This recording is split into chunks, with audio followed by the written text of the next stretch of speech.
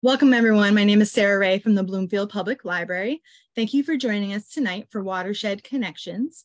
We have Heather Geist here from the Farmington River Watershed Association. And I'd also thank our partner, Stephanie Bahramian. She is our Bloomfield Town Environmental Planner. So I'm gonna turn this over to Heather now.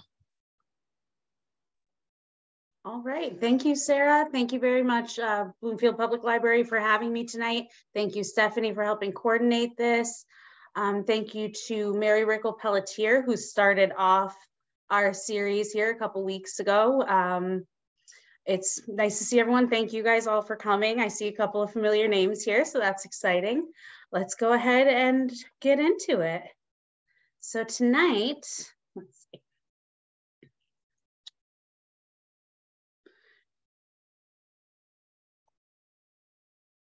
There we go. All right, can everybody see my screen all right? We've got my title here, fantastic. Tonight we're gonna make some connections. We talked a little bit, oops, about um, watersheds with Mary last week. So I wanted to go ahead and just tie in a little bit about how the park, inter, uh, the park watershed and the Farmington River watershed interact with each other, interact with the Connecticut River and its watershed. Um, I wanted to talk a little bit about stormwater pollution, because that is the biggest threat facing most of our watersheds here in the Northeast right now, including the park and the Connecticut and the Farmington River watersheds. And I wanted to talk a little bit about what you all can do to help mitigate stormwater pollution and protect our drinking water resources. So since I accidentally clicked to the first slide, we'll get started with what we do at FRWA. Um, we're the Farmington River Watershed Association. My name is Heather Geist. I'm the Education and Outreach Manager. We're a nonprofit organization that started in 1953 by some angry citizens, basically. Um, we aim to protect and preserve the Farmington River and its watershed through stewardship and advocacy, education and outreach, and water quality research and monitoring. And we just want to acknowledge that we and our entire watershed is on the lands of a lot of other people that took care of that space before us. Uh, we do want to be good environmental stewards in the way that they were and follow some of those same uh, principles that they used. And we thank the people that were in our watershed before us taking such good care of it. So tonight, as I mentioned a little bit, we're gonna talk about watersheds locally. We're gonna talk about stormwater pollution, what you can do to help mitigate that pollution, and how we can help conserve drinking water which the Farmington River provides a good amount of. For this slide, it's a little quick video to talk about what a watershed is, just a recap. I know Mary talked about it a couple weeks ago, but it's a really interesting concept that we're all familiar with, but sometimes hearing it defined in specific terms makes you see it a little bit differently. So if I could just get um, a thumbs up from Sarah, if you can hear the audio once I play this, that would be great. Thanks. Can you hear? No?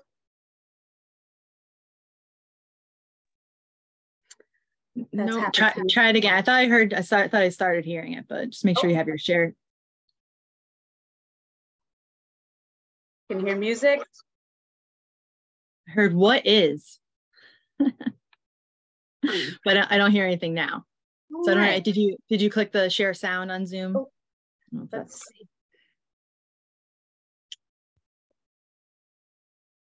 There we go. I don't know. I think we'll just talk about it the old fashioned way, I guess.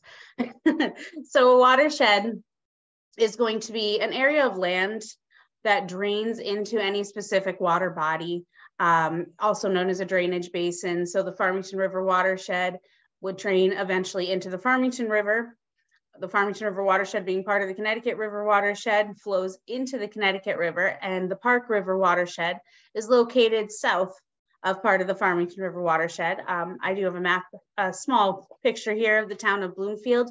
The green would be the Farmington River watershed. Over here on the um, west side of Bloomfield, that would be the state park. Over on the east side, we've got the Mill Brook area, which flows into the Farmington River. Uh, the gray part, which is most of Bloomfield, is the park watershed. And the little bit of blue in the corner there is directly Connecticut River watershed. So that piece of land, when the rainwater falls, all of that water is gonna wash directly into the Connecticut River without hitting the Park River or the Farmington River. So quick facts about the Farmington River watershed. We cover 609 miles in Connecticut and Massachusetts. Our headwaters are located in the southern Berkshire region. Um, the river flows in all four cardinal directions from Becket up here all the way down to where it takes a really sharp turn in Farmington, goes up north, and then turns and heads east to the Connecticut River where it meets it in Windsor. Um, we have several reservoirs here that are owned by the Metropolitan District Commission, the MDC. They provide drinking water for all of Bloomfield, as well as a lot of other residents in the area. So the Farmington River is an important natural resource for drinking water. It's also really important for fisheries. We've got great water quality in a lot of the watershed. And we're hoping to always make it better. The park watershed, again, it's just a little bit south of us. It's a smaller watershed, 77.2 miles. Uh, it's located in six towns. We've got the north and the south branch of the Park River, as Mary mentioned a couple weeks ago, and they actually go underneath Hartford to meet the Connecticut River. Here we can see the entirety of the Connecticut River watershed from up in the corner of New Hampshire, Maine, and Canada, where it comes down between New Hampshire and Vermont, forming the border through Massachusetts and into Connecticut.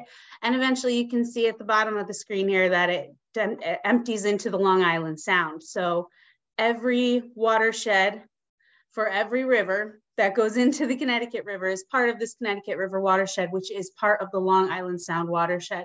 It's all connected all the way down for 410 miles.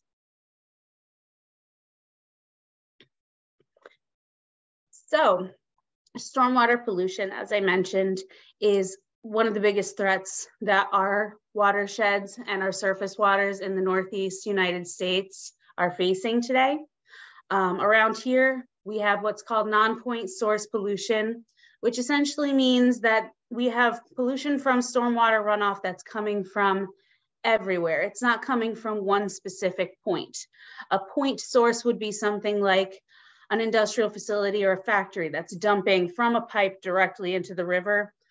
When it comes to stormwater pollution, the pollution is coming in from everywhere that that rainwater is falling. It picks up contaminants and carries it into our, and our uh, surface water systems.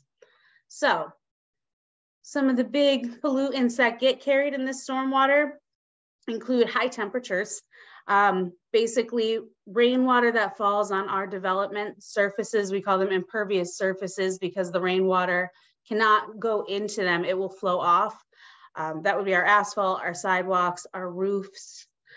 All of those are going to heat up that water really quickly before sending it into the river. Uh, we've got nutrients, bacteria, chloride, sediment.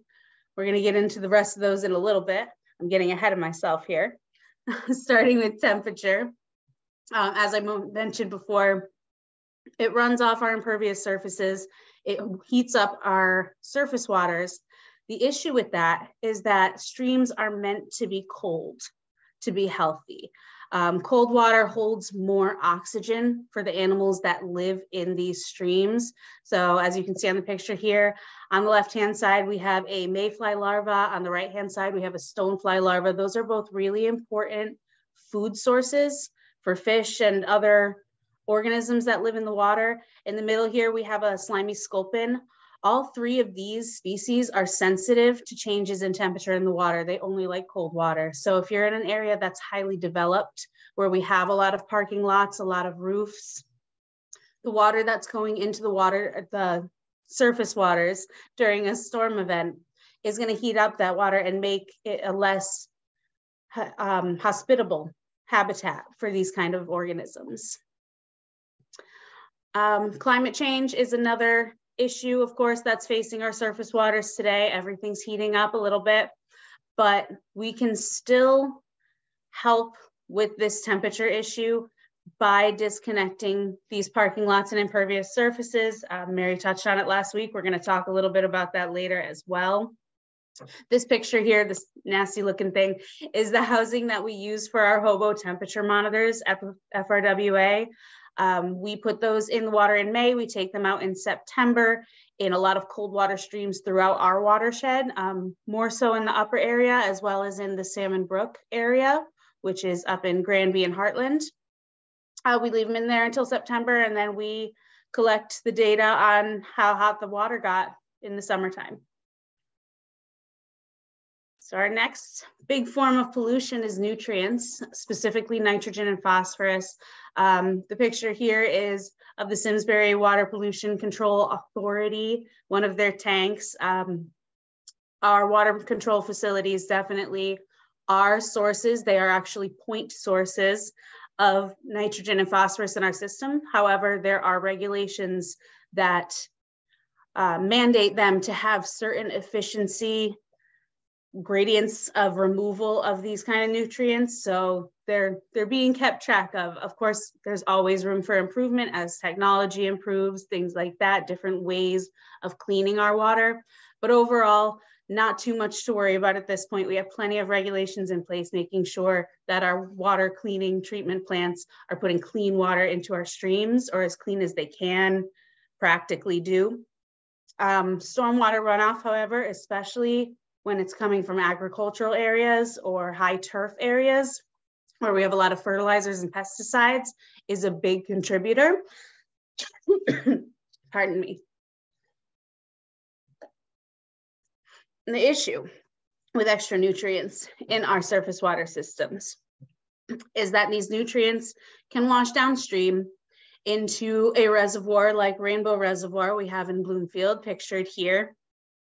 The nutrients then will feed species of algae that are living in the water, planktonic algae, also cyanobacteria, which are photosynthetic bacteria that make their food from sunlight like plants do, the same with the algae.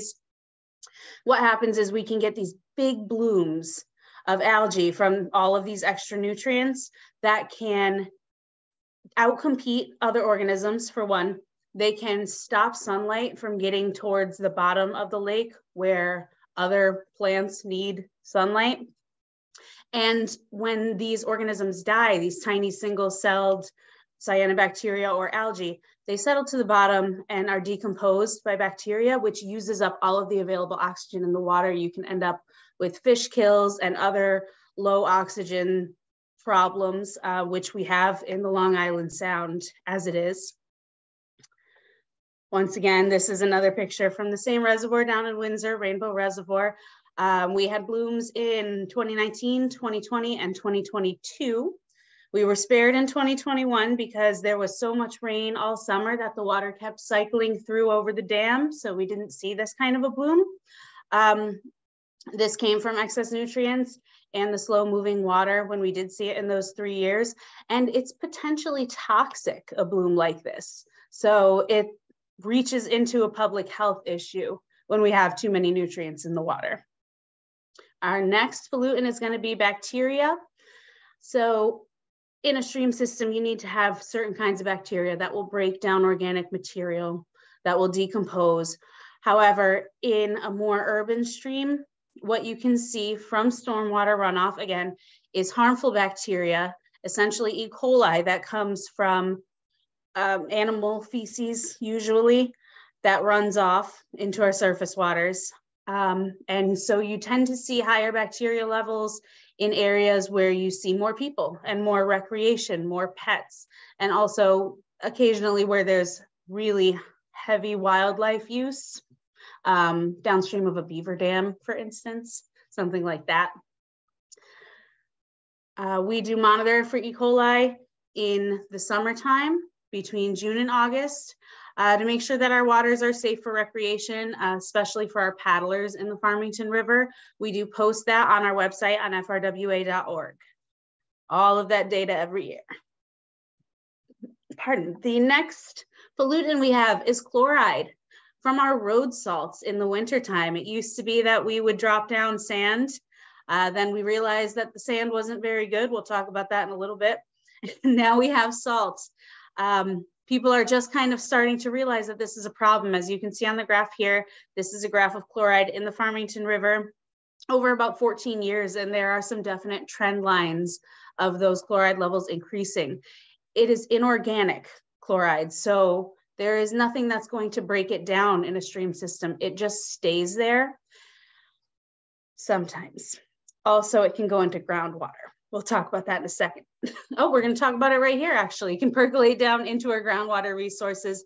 It's not effectively removed by the soil as it goes down with our stormwater. So once again, chloride is becoming an issue. We have been monitoring, um, this is my colleague Paige here with our YSI Pro DSS multi-parameter monitor, uh, monitoring device. We have a winter salt watch card as well on the left. This is a project that we are a part of, a program we're part of with the Izaak Walton League of America.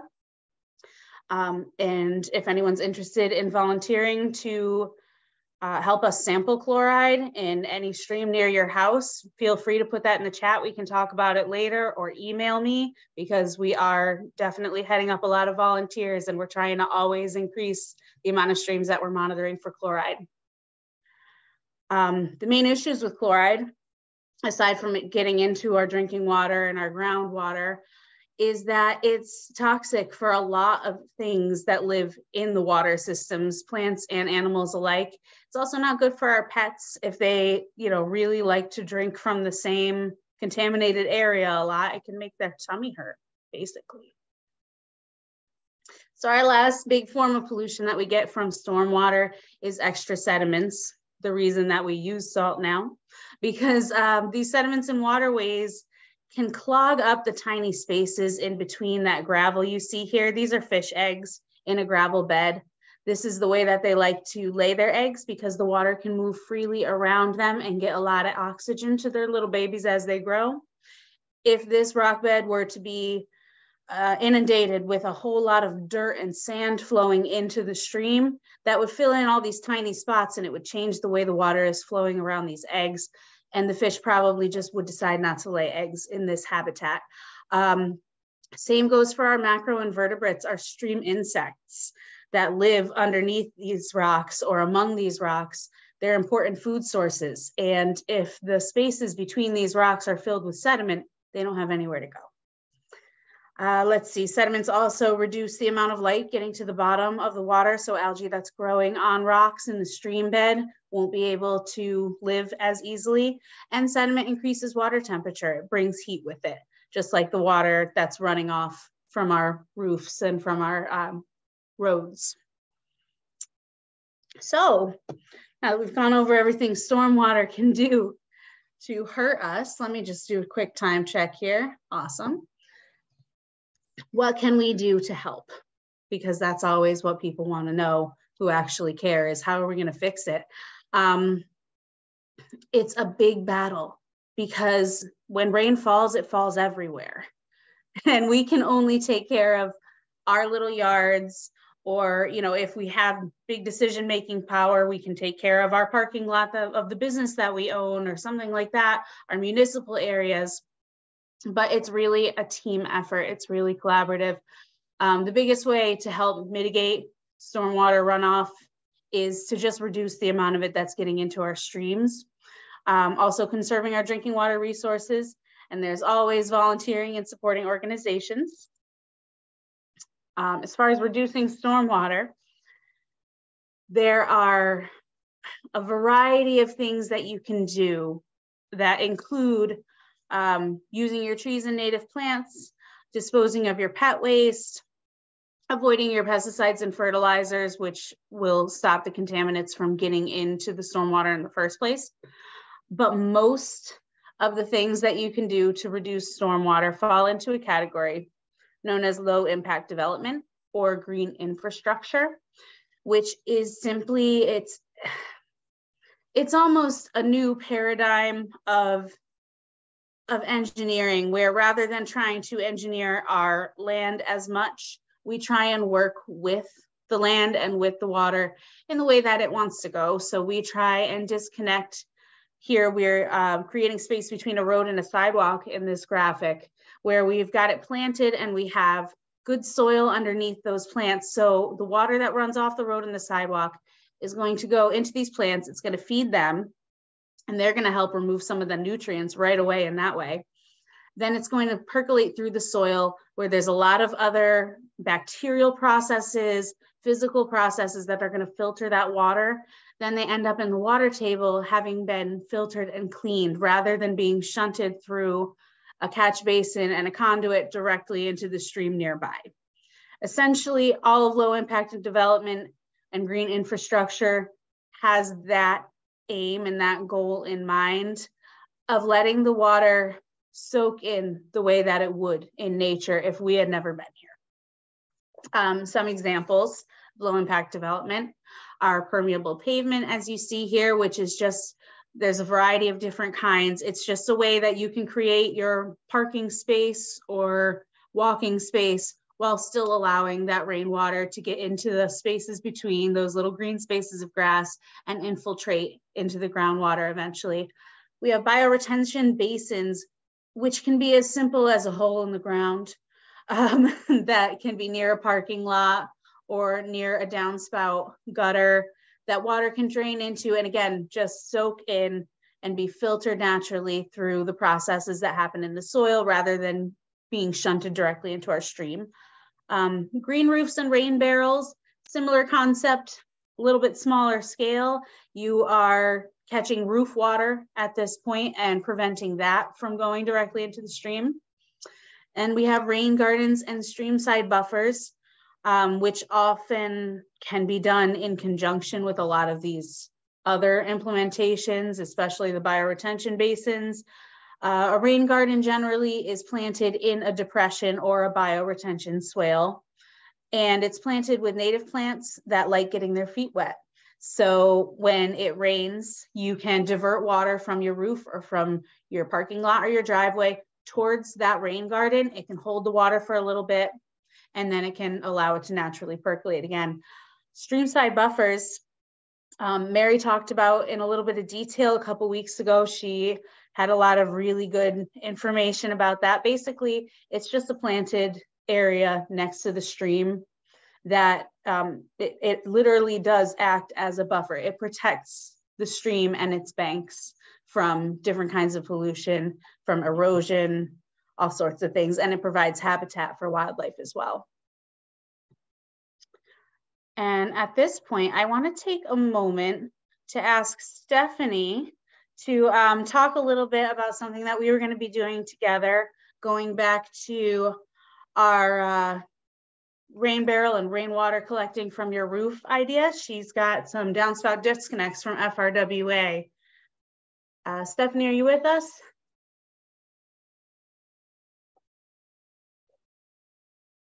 Oh, we might have lost her. Oh, there. Can you hear oh. me? Hi. Oh, beautiful. Hello. I can't see the I can't see a gallery view of people, so I can't see if I'm anyway. Um, yes, let's talk about this project. I can also speak a little bit about green roofs and rain barrels, being as I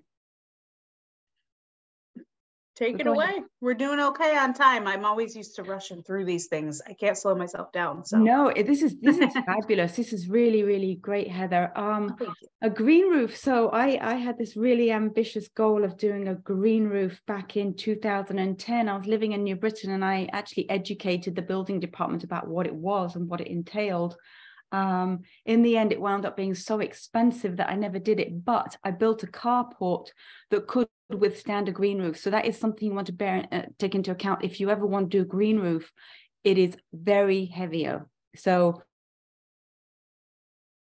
you need a structure that can withstand that. The other thing I researched was, well, what kind of vegetation would it take for a, a green roof in New England? Because, um, you know, you need to think about maintenance. You need to think about uh, what kind of vegetation is going to be able to withstand our climate. And um, there was a place down in Lebanon, I believe, that actually grows the sedum that you would purchase for um, the green roof. So that's generally the best practices um, for what you do for the vegetation. Um, I'm also uh, looking into writing some regulations or some guidance as to how we would actually help homeowners and commercial sites, but especially homeowners, do green roofs. And you do want to think about maintenance. So it's just as well I never did do that green roof on the carport because I would have done the whole green roof and that would have been 16 feet. And so that would have been quite difficult to actually maintain. And I think the guidance that I'm going to try and create is you think about probably having like a regular roof, but then the the the part that's like two feet closest to where it drops down uh, to like the gutter uh, potentially, that's where you would have vegetation. So you can get up on a ladder and maintain it if you need to, change out the plants if they die.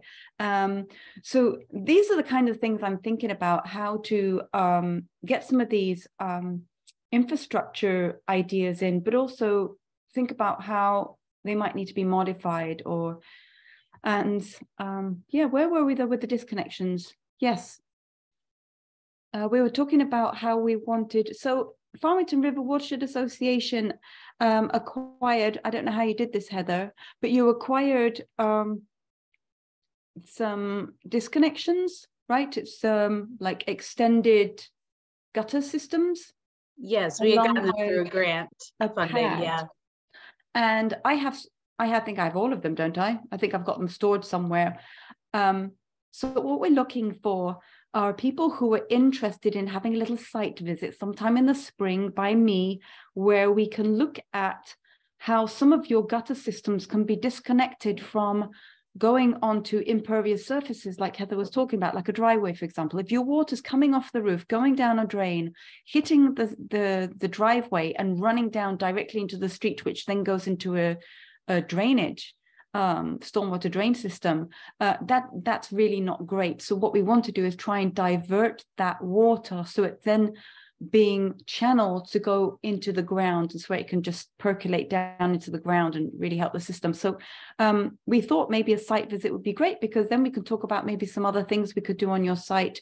And um, Sarah and I are looking to create um, a program in the spring for anyone who's interested to to meet on Zoom and talk about what those kind of visits would look like and have sort of a collaboration, listen to you as homeowners as well, see what you think.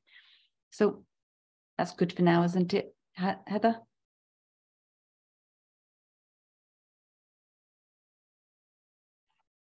Sorry, yes, it is. It took me a while to find my mute button to get myself off of it. Yeah, so um, thank you, Sarah, for putting Stephanie's information and my information as well in the chat. If anyone is interested in having Stephanie come over to your house and talk about um, ways that you can re-divert your rainwater and um, use it more efficiently, contact her. I see some questions in the chat, which is always great. So we'll get back into the presentation so that we can uh, get everyone's questions answered. So, oops. After you've decided to um, rethink your landscaping ideas and all this and put in low income development to reduce our stormwater runoff. Sorry, I keep clicking the button. Another thing that we can do to protect our water resources is to conserve our drinking water. Um, always, we don't want to waste water. It's we're on a planet that's blue but most of that water is not drinkable between what we have in our oceans, obviously, between what we have in groundwater that cannot be tapped into, what we have in ice. It's actually a very small amount of our water that is able to be drank and an even smaller amount that's clean enough for us to drink. So keeping those resources and that infrastructure in place longer can be achieved by overall using less of that resource. Um, so Farmington River Watershed Association is part of the River Smart Initiative, which has, you can see at the bottom here, we've got a, a link to riversmartct.org. There's a QR code. This website, RiverSmart, has a, a ridiculous amount of information on how you can reduce stormwater runoff as well as how you can conserve drinking water resources. So definitely visit that, check out all those resources that are there. It is beyond a toolkit. It's like an entire tool room. It's a workshop in and of itself. So ways we can conserve drinking water at home, um, check your appliances. These days, most of them are Energy Star rated, and a lot of them are WaterSense rated as well. Um, and then there's the simple things like taking a quick shower instead of a bath, turning off the water while we brush our teeth, being aware of efficiency when we're washing our dishes and our clothes, although a light load of dishes is still going to save water compared to hand washing those dishes. A lot of the time they don't mention that. But aside from what you can do inside, turns out we use a whole lot of our water on our lawns. Go figure, after we're talking about low income development and all of this water that's coming down, and we're finding ways to get it really quickly into our surface waters, there are also ways like these rain barrels and green roofs and rain gardens that we can take that water and actually use it to help our lawns and to save us on water. Um, experts estimate that almost half of the water we use when we're watering our lawns gets wasted either by evaporation because we're using too heavy of a, a mist rather than droplets of water. It gets you know blown away by the wind. We water too much. We water our sidewalks by accident sometimes. So there's a lot of tips that you can use in your lawn when it comes to watering in the summertime mainly. Um, do it in the morning before the sun comes out so that we're not just evaporating the water as soon as it's hitting the grass. Um, using sprinklers that don't provide a mist or produce a mist. Again, that's just going to get blown away by the wind and evaporate. Um, don't over fertilize. Fertilizer makes your grass require more water as much as it's really, really nice to have the prettiest, darkest green grass, sometimes that extra fertilizer really isn't needed and you can still have a really pretty lawn without extra fertilizer.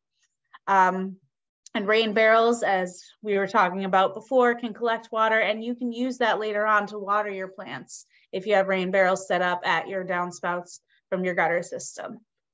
Uh, other things that we can do to help conserve our potable water and use less of it in our landscaping is just to try not to water more than we need to. Um, a lot of us, you know, we're busy. We have our sprinklers on a timer, something like that.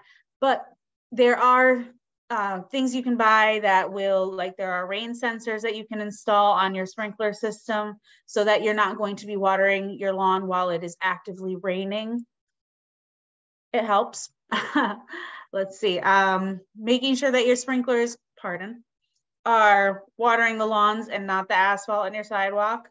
Uh, letting your grass grow a little bit longer actually helps it to grow a deeper root system, which can soak up more water and soak up water more efficiently. Also, the blades of the taller grass will help to shade the soil and prevent some of the water that's on your ground already from evaporating off. Um, planting native species generally don't require as much water because they live in this climate naturally. So they don't really need as much extra. Um, mulching around your trees and plants helps again to hold that water in the soil so it doesn't evaporate off. Um, once again, to reiterate, all of this information about the stormwater runoff and conserving drinking water can be found on riversmartct.org tons and tons of resources. So the last two ways that you can help, uh, one is to volunteer for local organizations. Um, FRWA does invasive plant removals. There are community cleanups. Um, this picture on the right here is Barber Pond here in Bloomfield. Uh, Mill Brook goes through Barber Pond and right now you can see these clumps of green in the foreground of the photo. That is an invasive water chestnut, the European water chestnut. We are going to be trying to work with the Connecticut River Conservancy in the spring to actually get volunteers to go out into the water with kayaks and big garbage bags and gloves and pull these water chestnuts out before they can seed next year. Um, we also, at this picture on the bottom here, we hold our annual Farmington River cleanup. This year we had uh, sites in Bloomfield for the first time. Well, one site in Bloomfield, which again was at Barber Pond here we had a work group come out and they pulled all of that out of the woods on the Bloomfield bank on the river. We didn't we didn't even get to the other side of the, the pond, the Windsor side. So um, visit frwa.org and join our email list. We will always post on there when we have volunteer opportunities coming up. So just uh, keep an eye out if you want to get involved. If you can't volunteer, you can always support your local conservation organizations that do this work on a regular basis to try and keep our watersheds and our lands healthy. Um, there's us, FRWA, Park Watershed, which did the presentation a couple weeks ago the Winton Berry Land Trust in Bloomfield, and the North Central Conservation District is part of the Connecticut Conservation District system. The North Central is the one that serves Bloomfield.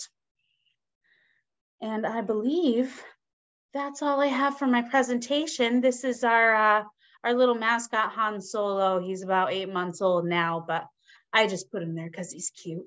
and I mostly wanted to have my email address up here in case anybody needed to email me with questions. So I'm going to go ahead and dive into the chat, into everybody's questions here. Ooh, we got a lot. All right, we're going to start off. I have this from Sarah Ray. Um, not from Sarah Ray, from somebody else through Sarah Ray. Okay. The question is Are green roofs an option for existing homes?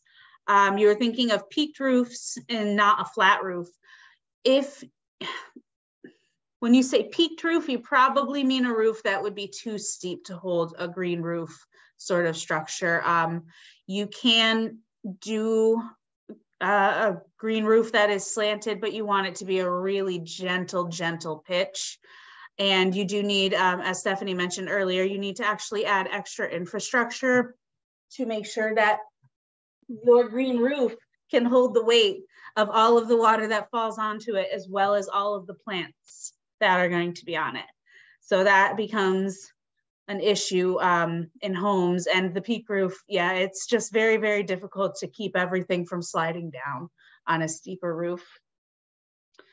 Next question from Dave. Do we have any charts that show temperature readings for the Farmington River, Salmon Brook, Cherry Brook, et cetera, for the past year and previous years? Yes, Dave, we do. Um, if you want to provide me with your email either through the chat or you can email me directly, we can send that data over to you next week. Um, same goes for anyone else who wants any of our temperature data. What we do um, with our data for temperature is we share it with um, Connecticut DEEP. It's done through their VSTEM monitoring network. VSTEM is an acronym for volunteer stream something, something, monitoring something, something. But we send them all of our data every year, um, but we're happy to share it with anybody who wants to see it. Teresa, what can we do in the winter when we take in our rain barrels? If you really want to, you can collect snow and save it. Um, otherwise, in the wintertime, it's, mm, it comes down more. I think the most important thing right now from FRWA's standpoint that you can do in the winter to help your watershed is to um, keep an eye on chloride. The road salts tend to be the biggest issue right now. We have our Winter Salt Watch volunteer program, which again, I didn't make a slide for it, but if anyone is interested, please email me. Um, what this volunteer program entails is we send you a kit that has four test strips. You go to your local stream that's running by your house or your favorite spot to go sit at four times throughout the winter. Dip the strip in the well, you collect a water sample, dip the strip in it, and then you send us either a picture of that strip on a little card that comes in the kit with you as well, or you can, um, some people like to make a spreadsheet if they're doing several sites and send us the data that way. It's really flexible. It's a really easy program. That is one thing you can definitely do to help in the winter. Also, we have um, a lot of tips on our website and in our newsletter that's coming out very soon. And that actually also went out with uh, an appeal letter recently about things that you can do around your house to help reduce chloride runoff. Um, mainly that would include scattering your salt rather than dumping it. You, when you scatter salt on your driveway, you really would, it's almost better to do it right at the very beginning of your snowstorm before you build an ice barrier there so that it can start melting right away before it gets um, before there's too much there for the salt to work with. And you wanna scatter it lightly. So it actually, each grain has more surface area and contact with the snow or the ice. Um, it's really tempting to just dump it and then try and crush it in. That's really not helping. Scatter it lightly. When you find that it didn't snow as much as we thought it would and the next day everything is dry and you still see salt, sweep it back up and use it again later. That's a really big one you can do at home. Uh, another one is get in touch with your um, municipal uh, Department of Public Works and make sure that they are paying attention to how much salt they're putting down. Um, a lot of places, including my town, Meriden, that I live in, they use a salt brine before a storm, which saves them money and it also reduces the amount of salt that's going to just bounce off the road from the truck. Um, there's a lot of different ways that all sorts of organizations are coming out with to use salt more efficiently so that we're putting less of it down. Uh, let's see, before I'm getting myself carried away here now talking about salt anyone wants to talk more about salt, you can email me. um, so yeah, when we take in the rain barrels, I think the most important thing, you know, that you can worry about if you want to keep saving water, again, you can save that snow and just melt it and find a place to keep it. But definitely reducing the amount of salt that you're using on your driveway and your sidewalk is a big one. And convincing your friends to try and do the same. Uh, Stephanie, can we talk about our fabulous smart lawn care resources at FRWA? That uh, would be our, uh, a lot of that would be in our River Smart program mostly. We do also on our website have um, some pesticide free lawn care information. We have river friendly landscaping tips. Those are all on frwa.org. We've got lots of that. Uh, let's see. Teresa, we have replaced much of our lawn with native plants and natives don't need to be watered. Yes. Yeah, a lot of the time, native plants, because they already lived here before on their own, they're used to the amount of water that Connecticut gets. So they don't really need too much extra. They're usually very tolerant to our weather conditions when you use native plants. Um, Lisa, Dark green lush lawns are ugly because they scream chemicals. Give me clover and other things too. I agree, Lisa. I love seeing clover in lawns. Um, yeah. Hopefully, you know, I, for a long time, I feel like the lawn has been a sign of status. And it, for what, in my opinion? so hopefully we can all work maybe towards having a few more natural spaces on the edges of our lawns. That's what I try and do. I moved into this house in uh, 2021 last year and we have a nice little postage stamp with a nice little fence and it was all grass with one big shade tree and i just kind of keep creeping in on the borders near my fence and planting more things inside and trying to get rid of that grass uh, a great thing, uh, I guess a good rule of thumb that you can kind of try and push with people, convincing them to get rid of their grass is not going to work. But if you say, you know, just keep the grass that you use for your fire pit or for playing soccer in the yard and plant out the other areas, then you have more shade, more water efficiency. Kind of, you can kind of ease that in sometimes. Um, Stephanie is creating a program with a resident who can talk about how he too has converted his lawn to useful plants that are zero to low maintenance. Fantastic. We spend a lot of time. Water is not the only thing we use a lot of on our lawns or money, time as well. Um, Sarah, you've got a vegetable garden in your front yard. That's fantastic. I love that. And let's face it, watching the grass grow is boring. Watching your vegetables grow is a lot of fun. Let's see, Stephanie, you're gonna come and do water chestnut removal with us. That's fantastic. I'm sure you're on our mailing list, I hope. I think so. but I'll make sure we contact you either way. We'll get to you uh, specifically. And oh, we got more coming in. Dave is thinking there's only so much impact the 20 people on this call can have. True how do we think bigger, municipal involvement, state legislation, et cetera? Um, so municipal involvement, um, I mentioned a couple minutes ago with the salt thing. That's definitely something that you can just call and talk to them directly and just ask what they're doing. Um, FRWA does try every year to link up some of our communities in our watershed with UConn's Green Snow Pro training. Um, I'm going to put that in the chat, actually. I can speak to that a little bit. Um, I did invite Public Works to actually do the training, and I was told they'd done some sort of training of their own. And then I see an email thread about a year later saying, Hey, look at this program. We should probably do it. I'm like, I thought we'd done it. So it might be nice to actually have a resident call and find out exactly where we are on that program. Um, but I know they they they they are smart about these things. They are using the brine solution. They are thinking about how um, it's in you know how they manage the the storms um, through those methods could be not only financially expensive but also expensive on the environment. So I believe the public works have this under control, but it doesn't hurt for a resident to actually call and find out and then report back to us. That might be nice. Mm-hmm.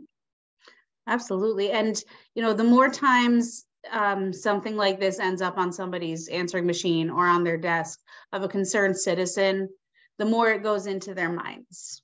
You know, even though a lot of the time it's a really slow process getting that kind of change done, it does make a difference when you, the actual human being who lives in this town, contact someone. Um, as far as state legislation, uh, FRWA has worked with a lot of different state legislation, streamflow studies, thing, or streamflow regulations being a big one of them. Um, one right now that we are trying to keep an eye on is that nutrient pollution that caused that big green cyanobacteria bloom in Rainbow Reservoir. Um, with our wastewater treatment facilities, we're trying to keep an eye on when their permits are up which is public information, so that we can kind of put pressure on them to um, up the ante a little bit with their removal efficiency of nitrogen and phosphorus. You know, they all do different kinds of monitoring, different ty- kinds of testing in their effluent waters before putting them back into the stream. But there's always room for improvement there. Um, other than that, a lot of it is just keeping up with you know, environmental bills that are proposed, things like that. Anything that you think that, you know, the state can help with, you can write a letter to your congressman for. Absolutely. Um, when it comes to stormwater runoff, because once again, that's a non-point source and the rainwater falls everywhere, that one is really hard to mitigate with any sort of regulations.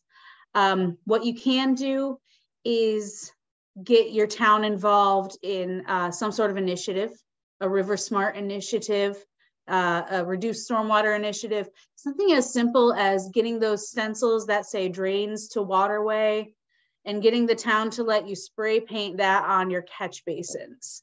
It's a small move, but every little move makes an impact. Uh, let's see, Teresa has given us what looks like a fun but disparaging article here to read later. Um, oh, perfect. Sarah's going to try and attach it to the follow-up email. What is the best thing to do to help sidewalks not be slippery? Yeah, that's a big one. Um, when we're, you know, talking about chloride and road salts, the biggest thing we have to keep in mind is that yes, the environment is super, super important, but public safety is also super, super important. We can't be sliding around. We need to have something to keep that ice from being unsafe for us to walk on or to drive on. Um, when it's a sidewalk at your house, the amount of sediment that you would be providing by using a sand salt mixture is very negligible. So um, I'd say you can definitely go ahead and throw some dirt down on your sidewalk if you want to get away from using salt entirely. Um, another thing that you can do is I mentioned the, the brine that some municipalities are using.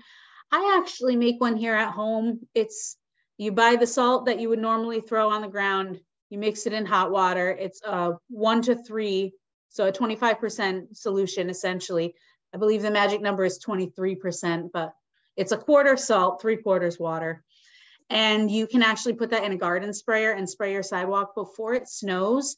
That treatment will actually stop the falling snow from preventing or, or from forming an ice barrier, like, and really getting in contact with your sidewalk. It kind of buffers that so that it's easier to remove that snow later when you go to shovel or snow blow. It's easier to come up with a nice clean sidewalk. This is only effective um, down to a certain temperature, but that certain temperature is one that we will only see a couple times here in Connecticut in you know our zone five, zone six hardiness zones we're not really getting into the negative 10s, negative 20s here very often. So usually that brine idea can help a lot. Um, but definitely, you know, another thing you see with salt is people putting down the big pile of salt because that crunch is a lot easier to navigate than the slippery ice underneath it. Um, that's a situation where you can replace some of that salt with sand and throw that down on your sidewalks in your house or near your house. Um, and oh, that last one is me talking about Green Snow Pro training. well, we've got five minutes. I don't know if there's anything else as far as questions or if Sarah, you want to uh, get us wrapped up and give everyone a couple minutes back. Yeah, we'll just, I'll, uh, I gave everybody the power to unmute. If anybody wanted to vocalize their quick question while we still have Heather, I'll, we'll pause for 10 seconds, jump in.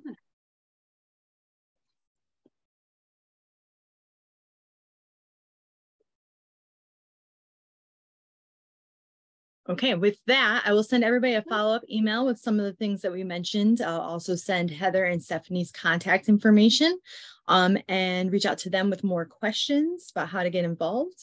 And I'm going to stop this recording now.